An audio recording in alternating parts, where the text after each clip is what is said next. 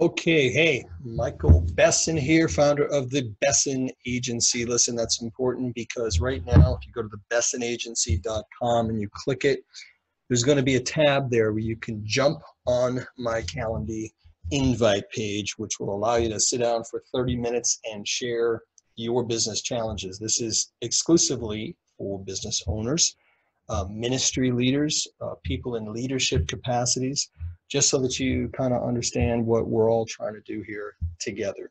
We have formed a team of C-level advisory volunteers that are in logistics, operations, finance, sales and marketing, people that have things stuck in ports that can't get it out. They've tried to um, uh, communication systems for people that now have an outbound incredible employment force that they never had before. Here's the point trying to do our very best to bring as many things to you as possible free of charge. So if you jump onto the bessonagency.com, wherever you find this video, you will find a way to get on my calendar. Now, in the meantime, the CARE Act is an amazing opportunity to help entrepreneurs, business owners, people in all walks of business get back on track. We're all in this together. There are no more Democrats or Republicans. We're all on the same team here. So here's the deal. I'm going to introduce you to Rich Boyer, CPA, founder of the of the Gensler Group. Hello, Rich. Nice to see you. Thank you for taking. Good to see you too, Michael.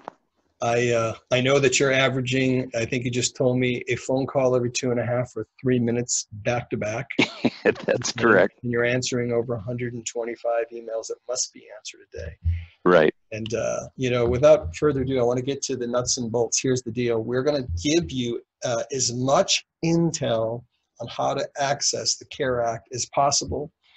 Uh, Rich is not going to tell you what I'm going to tell you. Number one, we both need haircuts. These are not wigs. That's incredibly important for me. Number two, Rich, in my 28 years of coaching executives around the world, Rich is by far the sharpest finance accounting mind I've ever met. He lived, eat, and breathed the first 36 hours of the 880 page uh, CARE Act and digested it all, took notes, and of course everything is shit. It's the government, guys. It's gonna not. It's never gonna stop shifting, right? So uh, we're gonna drill through what's most important. One last thing. CareActUSA.com. We're throwing up this website. It's going to be the ugliest website we ever did. The the top is going to be free resources, the documents, the links, and this video. So if you're down to nothing, man, we want to help. The second stage is going to be for $75 twice a week. We're going to just get in forums and try to take on as many entrepreneurs as possible, up to 20 per room, and handle your challenges. And then the third one is if you just want to hand it off to Rich and his team, he's already done over 50 of these. I don't know who's done more in the last 48 hours. And he will walk through the interactions of all the changes because Lord only knows what's going to happen with this $350 billion bailout. So, Rich, without uh, uh, belaboring this, the SBA has done, I mean, the uh, government's done some incredible stuff to try to get businesses back on track. You have been at the forefront of this. You have studied the 880 page document in fact, you've read it cover to cover. I, I doubt there's. I have. that have done that. there it is. That's just incredible. So first and foremost, um, I want to just tag the most important things. So when, when somebody sits down, they need a, a variety of documents. What are the documents that they need specifically and where do they find them? Okay. Uh, a lot of these documents will need to be self-generated. Now I have uh, copies of the documents that the government wants, the forms to put the data, uh, to give the data to the government. But primarily there's an application form. That's a very simple form that uh, gives the name of the business, it gives the tax ID number, the owners of the business, uh, and uh, um, a, a, bank account that you can put to get the emergency 10 uh, $10,000 fund. And that is going to be, uh, by the way, a very easy link. You won't have to look for it. I will, wherever you see this video, I will put it below. And it's easy peasy. Now, hello. now, uh, let's talk about accessing the real resources that these business owners need. So you have the emergency $10,000. Anybody with a uh, ability to type can figure that out. In fact, I've helped half dozen. Now, the secondary one is the big one. And essentially, it's two and up to two and a half times your payroll, your subcontractor's fee, your building lease, and a few other things. Yes, let's, it, it might be good to cover some definitions that are in uh, the CARE Act. Okay, go. Uh, there, there is a definition of payroll costs. and That's a very important item. Payroll costs are what is going to be covered under this act. Uh, they include um, normal uh, payment, uh, normal salaries and wages. Uh, they include severance pay. So if somebody was terminated and is receiving severance pay, that's covered under the act. Okay. Retirement benefits. Now that I'm interested in seeing some of the regulations because if you're already receiving a retirement benefit, supposedly that comes under the definition of payroll costs. Okay. Um, any health insurance, group health insurance payments that are made relative to to payroll, as well as there's another uh, another area that I'm I'm kind of interested in seeing how the regulations are going to work on this, but it it's also co uh, uh, covering any taxes that the state might impose on the employee. For example, in in California, we have uh, SDI, which is a an additional tax that the employee pays, and supposedly that uh, would be covered under the uh, the definition of payroll costs. I believe that uh, subcontractors are covered as well, correct? Subcontractors are covered as well. The um, uh, the total uh, basically the government wants you to go 12 months prior to the time that you're applying for the loan. Mhm. Uh, so this means um, starting now in March, all the way through February 1st of uh, 2019, you calculate the average uh, uh, payroll costs that you had during that period. The by, accumulation of all the, the categories you just said, correct? Right, accumulation of all that. You you total that, take a simple average of Mhm. those numbers, multiply that times 2.5, Mhm. and that gives you the amount of advance that's going to be covered under this uh, emergency provision.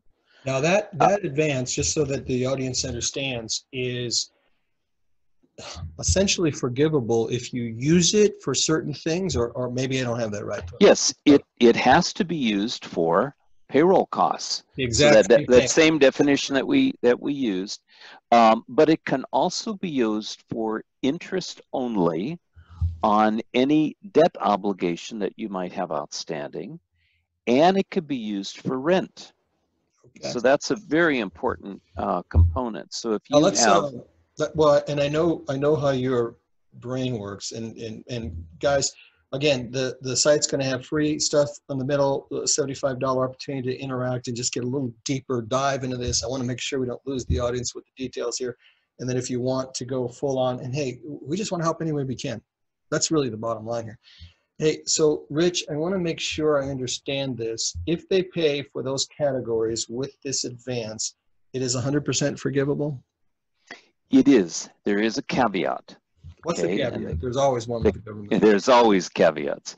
Uh, the caveat is that the government wants you to not lay off people. Mhm. So if you um, start to have a layoff where you're getting rid of employees and you're stop paying um, for the benefits, um, including retirement, then there's a penalty, and that forgiveness is reduced by a fraction, of which the numerator is the number of employees that you have currently, divided by the average number of employees that you've had from January, uh, excuse me, February 15th of uh, 2019 Mhm. until June 30th of 2019. Hmm. So this is an important. Uh, Ran- this is Random, important. random block of time, all right. It is. It is. Okay, so, so just so I understand, um, it's 100% forgivable if it's matched. What about all these employers who have had to lay, lay people off? Can they get their hands on that 2.5, bring them back in? Right yes, exactly. And that's what the government's trying to motivate people is rehire. If you start to rehire people, then the amount of that um, forgivable loan is um, is not reduced. Okay. Now, now the forgivable loan. Let me um, let me cover that. The uh, there's two aspects of the amount that's forgiven. Uh, the first aspect is the the um, if you take eight weeks of average uh, wages that you've paid, that is the first tranche that's forgivable under the loan. So if you can imagine, if you've got, um, just using simple numbers, if you have an average uh, $10,000 of, um, of wages or payroll costs, and you multiply that times two and a half, you're going to get um, uh, uh, 22,500, uh, uh, 2,500, uh, excuse me, 25,000 and then that is going to be reduced by the first tranche, which if, again, if those are average earnings for one month, for eight weeks, double that. So it'll be 20,000. Hmm. So in effect, in that illustration, you get a loan for 25,000, two and a half times the 10, Mhm. and you subtract um, eight weeks of wages, which is the Mhm. first tranche, Mhm. which Mhm. would be two times that same amount or 20,000. Then the additional amount that you add to that is what your average rent has cost over that same period. So Got that adds to the amount that's forgiven. Now, in no case will the forgiveness be greater than the amount that you borrowed, which means it's not, the government's not going to give you more money because you your forgiveness is greater than what you Got originally Got borrowed. it. It's Right. limited to what you have originally borrowed. That makes complete sense. Now, the thing that's happening to all of us is the rules are changing a lot. So we're going to try to re- refresh the platform as, as quickly as we possibly can. Rich, uh, And, and that's a very good point. And, and um, during this time, I think we need to have a bit of patience because the government is dealing with things they've never dealt with before. no, it's it's the SBA is dealing with uh, things they've never dealt before, and every single financial institution is dealing with things they've never had to deal with before. So we are really taxing a a group of people and a methodology to uh, to be able to provide these funds. So a lot of it, I'm I'm looking daily, uh, actually hourly, on uh, news updates on how to deal with with a lot of issues. And I don't think we're going to get a lot of these settled right away. no, I So I. I uh, So, Rich, anybody that reaches out to the bessonagency.com, hits the calendar invite, uh, I want to make sure, uh, no matter what hiccups happen with um, uh, careactusa.com, that there is a downloadable thing or a, a way for me to hand off. Now, we're going to be able to hand off to anybody all these forms, correct? And, and and yes. right after we get done with this, can you give me the latest bucket dump of all those? And they are in total right now four or six? There's four. Well, there's let me let me cover them first. Let's go. The the simplest one is the application form, and Okay. currently this form can be prepared online. Then there is another form that is a borrower's form um, that gives information about yourself. You're the borrower. And it goes into a lot of detail of who you are, social security numbers, address, uh, you know, basic information. Okay. That uh, that's a fairly simple one to fill out. The next one is they want to see the last three years of gross business activity, and this is over a period of three years, and they want to see it by month. And again, very simple form to fill out. Okay. Another form is a even simpler form. It's just a request uh, that you're giving permission for the SBA to look at uh, the last uh, three years of tax returns. And there's two different forms uh, that could be used for that, but we have both of the forms, and they're they're they're pretty much the same. All uh, So anybody that reaches out, you will in fact get a data dump of those, the link. and I'm sure most of you have Right. it. The Here's a wor- most, the most difficult form that is going to be required is a personal balance sheet of the borrower. And again, the borrower is, uh, by definition, is anybody that owns more than 20% of an enterprise will have to submit a personal financial statement. Um, what I would recommend to people uh, right now is that they start taking an assessment of their assets and a personal balance sheet would consist of uh, cash on hand that you have, marketable securities, furniture, fixtures, uh, jewelry, any any personal items, um, works of art, um, automobiles, um, cash surrender value of life insurance. Uh, and those are um, uh, pretty much on the asset side and any other collectibles that you might have. Those are, uh, and, and one of the things that a lot of people forget is to try to um, come up with a value of their business. Now, this is probably going to be one of the difficult parts of valuing your, your balance sheet because uh, with this current economic times, we have, it's very difficult to value uh, going enterprises. And Mhm. my recommendation is that we value them based on a going concern, which is a um, a qualification saying we think we're going to, you know, these businesses are are going to survive, and that my business will sur- will survive. So based on that, on a going concern basis, it's it should be worth X amount of dollars. Typically, those valuations are done by looking at what you've done in the past, what you've done in the future, and projecting out future earnings, and then using some uh, discount factors uh, to value your future cash flows. And we do this quite often in valuation techniques, uh, is to use a discounted cash flow Yes, we uh, have. basis. We've done a ton of them in the last 12 years together. Right. Hey, uh, and and and then uh, and then the liability side, you need to start taking um, account of all of your liabilities because on a separate form that the SBA is going to require, uh, they want just a list of liabilities that are that are currently outstanding.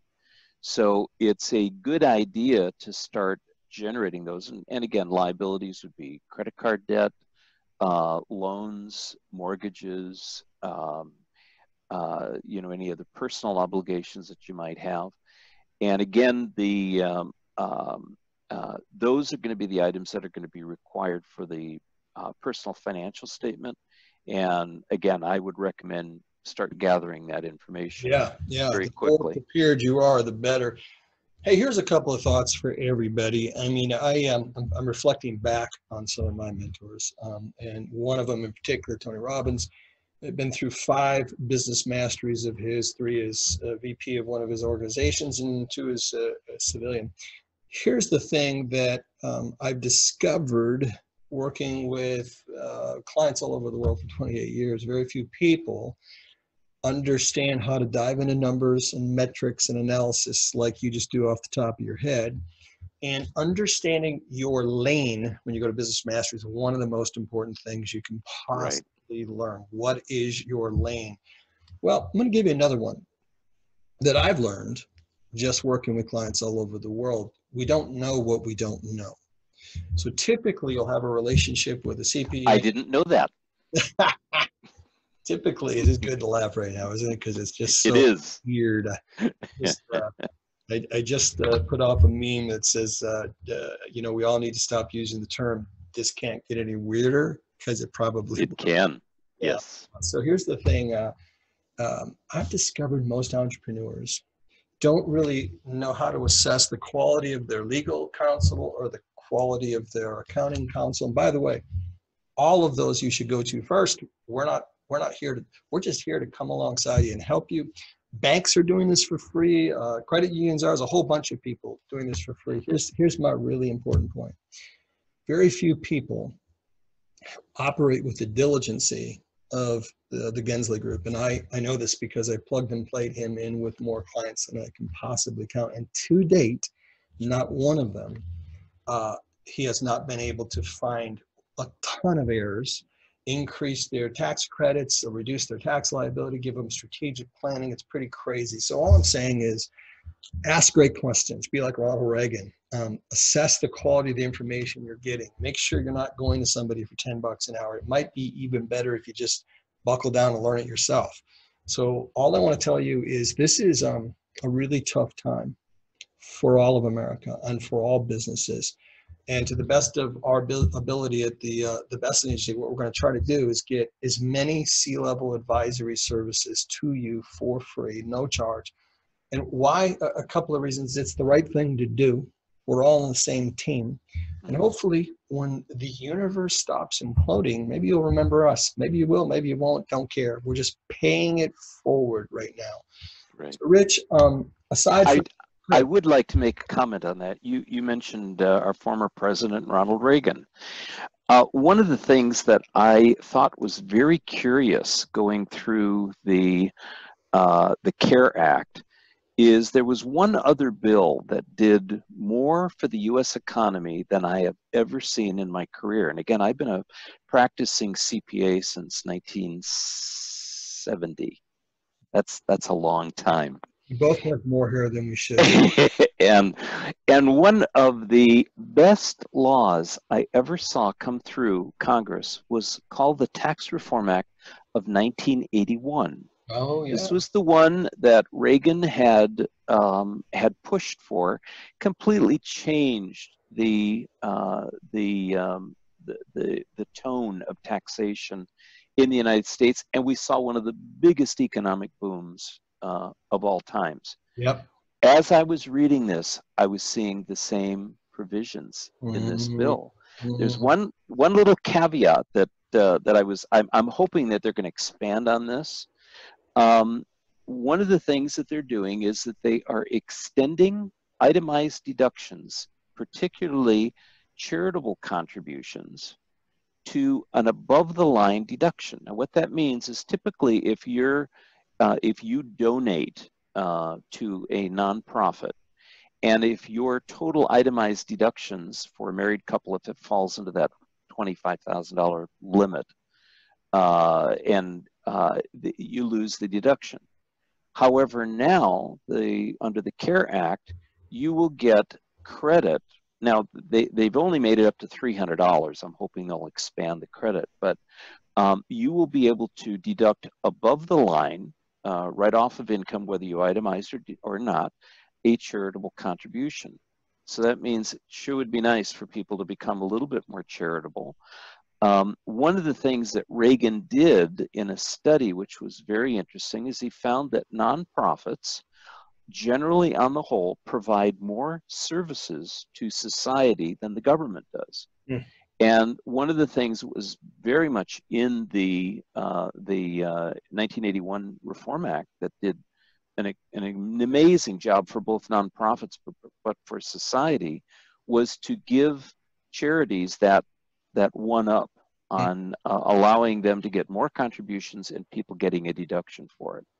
Mm. So that was one thing that I found was very good in there. The other another provision is they um, they got rid of a lot of the onerous provisions of loss carrybacks, which under the under the uh, uh, the new tax act um, were eliminated uh, and and limited. Now they're allowing companies to go back three years and recoup taxes. And, and again, that's one thing that I'm going to be looking at very closely is if anybody has had a net operating loss from 2017, 18, or 19, that loss can now be carried back. Oh, it's beautiful. Excellent. It's Absolutely. a great way of getting additional cash. This is what I love about you. I could give you guys stories forever. I mean, I, am going to leave you with one really big one. We were, and I don't even know if you remember this one, right? But we were in a um, huge uh, education building, and uh, one of the multi-billionaire uh, owners, I'm in Las Vegas, uh, of a casino. His accountant was in the room and uh, briefly started talking about accounting strategies. And you just very, as you always do, very humbly brought up a couple of points. And he was rather arrogant at first.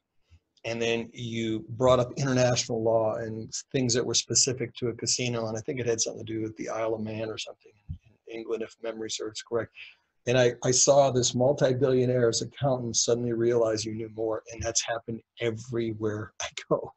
So, so listen, uh, I love having brainiacs around me. And and listen, uh, on on uh, we're gonna do this Tuesdays and Thursdays for seventy-five dollars a head. You come into this room. If there's one of you, you're gonna get both of us for that. Here's what we just want to do. We want to figure out a way to help everybody. The top of the site's all free you contact me, you're going to get the documents, the links, anything we can do. I am also availing myself for 30 minutes uh, uh, sessions. By the way, um, uh, this just a small little note to the self. Rich and I are both faith-based people. If you're a ministry leader, if you are a nonprofit organization, um, Rich and I love to help in any way we can. And I'm talking to, uh, I don't I haven't asked you this question, Rich. I'm talking to ministry leaders all over the planet. Are you as well? Uh, yeah. Remember I said I'm getting yeah. uh, a phone call every three minutes? yes, I'm getting a lot of uh, response from faith-based um, groups. And I've already, I've already, uh, I think eight or nine of my uh, SBA applications have already been with some very large nonprofits. Mm. Uh, and again, the thing that's really nice is um, uh, we haven't mentioned this, but the fact that the um, uh, some of these provisions are for self-employed individuals. Yes, they are. And that is a very, uh, I mean, I've never seen anything like that before. Yeah. And I think there's going to be a lot of benefits there. Well, love him or hate him, we have a person in the White House that knows business, and he's trying like heck to save America. And uh, I just think partisanship is just out the window right now. We're all on one team. Right. And God bless America for that. So listen, you know how to get a hold of us on Tuesdays and Thursdays. Go to bessonagency.com, jump on my calendar. I will connect you with Rich. We're going to get the site up as fast as we can. And with God's grace and God's help, we are all going to have a normal life once again in between here and That's for sure. And I think a better life. Yeah. I think, uh, you know, I just want to touch on one extra point before we, we uh, close here. Uh, one of the things that I liked reading in the bill is all of these advantages that they're trying to get for uh, telemedicine mm. and to change how we look at healthcare. I think we're going to see some excellent, excellent things. Fast tracking of, of uh, drug, drug protocols. Um, um, uh, much more additional capital in beefing up our healthcare. So those those are areas that I think can only benefit all Americans. And uh, and even around the world, I'm I'm I'm excited to see those changes come about. And you know, we're all even though we're isolated, we're all connecting at a much deeper way because now we're realizing somewhere down deep in our souls what's really important. What we thought was important wasn't what is That's for sure. My friends, God, country, man. I don't know what else could be more important in life right now. So, uh, hey, God bless you guys. Uh, we really want to help where we can. We do. And uh, uh prayerfully, uh, just know I want to I want to tell you guys that we are prayerfully covering everybody that interacts with us because yes. okay. God bless. God bless you.